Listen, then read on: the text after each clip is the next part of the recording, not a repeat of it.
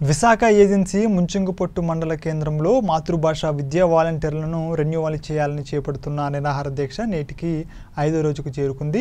ఈ సందర్భంగా వాలంటీర్లు సిఐటియు సిపిఎం నాయకులు అర్ధనగ్న ప్రదర్శన చేశారు. గత మూడు నెలల నుంచి ఆదివాసీ మాతృభాష వాలంటీర్లను రెన్యువల్ చేయాలని పోరాటం చేస్తున్నప్పటికీ అధికారులు కానీ ప్రజాప్రతినిధులు కానీ స్పందించకపోవడం చాలా బాధాకరమన్నారు. చేయాలి. విద్యాలయం రెన్యువల్ చేయాలి. ప్రభుత్వం ప్రభుత్వ అధికారులు వెంటనే స్పందించాలి. ప్రభుత్వం అధికారులు వెంటనే స్పందించాలి. ఆదివాసీ మాతృభాష విద్యాలయం వెంటనే స్పందించాలి. ఆదివాసీ మాతృభాష విద్యాలయం రెన్యువల్ చేయాలి. డిఎపి వెంటనే స్పందించాలి. ఎమ్మెల్యే ఎంపీలు వెంటనే స్పందించాలి.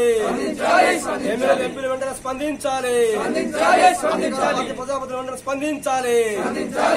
ఆదివాసీ విద్యా వాలంటీర్ వెంటనే రెన్యువల్ చేయాలి. ఆదివాసీ విద్యా వాలంటీర్ వెంటనే రెన్యువల్ చేయాలి. వైసీపీ ప్రజాపతులు వెంటనే స్పందించాలి. వైసీపీ ప్రజాపతులు వెంటనే స్పందించాలి.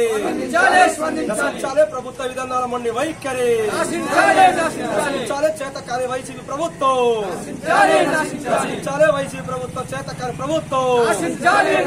ఆదివాసీ విద్యా వాలంటీర్ వెంటనే రెన్యువల్ చేయాలి. విద్యా వాలంటీర్స్ వెంటనే రెన్యువల్ చేయాలి. విద్యా వాలంటీర్స్ వెంటనే రెన్యువల్ చేయాలి. సిపిఎం పార్టీ సర్పంచ్ని ఈరోజు ఈ రోజుతో ఆదివాసీ విద్యా వాలంటీర్స్ ఆ రిలే దీక్ష ఐదో రోజు కొనసాగుతుంది. ఈ రోజు వరకు కూడా ఈ రోజే కాదు దాదాపుగా మూడు నెలల నుంచి వివిధ రకాలుగా ఈరోజు కార్యక్రమం చేస్తున్నా కూడా అధికార పార్టీ ప్రజాప్రతినిధులు స్పందించకపోవడం ఐటీ అధికారులు స్పందించకపోవడం చాలా దారుణం చెప్పి సందర్భంగా డిమాండ్ చేస్తున్నాం. అందుకే ఏదైతే ఈ రోజు ఆదివాసీ విద్యా వాలంటీర్స్ వెంటనే రెండు వేల అని చెప్పి చేస్తున్న కార్యక్రమానికి సంబంధించి సిపిఎం పార్టీగా సంపూర్ణంగా మద్దతు తెలియజేస్తున్నాం. ఇప్పటికైనా ప్రభుత్వం ప్రభుత్వ అధికారులు స్పందించి వెంటనే రెన్యువల్ చేసి వీళ్ళకందరికీ పాఠశాలలో పంపించని చెప్పేసి సందర్భంగా కోరుతున్నాం. ఇదే జరగకపోతే భవిష్యత్తులో జరగబోయే ఉద్యమానికి సంబంధించి ప్రభుత్వం ప్రభుత్వ అధికారులు బాధ్యత ఉన్నది- ఉన్నదని చెప్పేసి ఈ సందర్భంగా డిమాండ్ చేస్తూ సెలవు. భీమరాజు ముంచపూడి మండల సిఐటి కార్యదర్శి.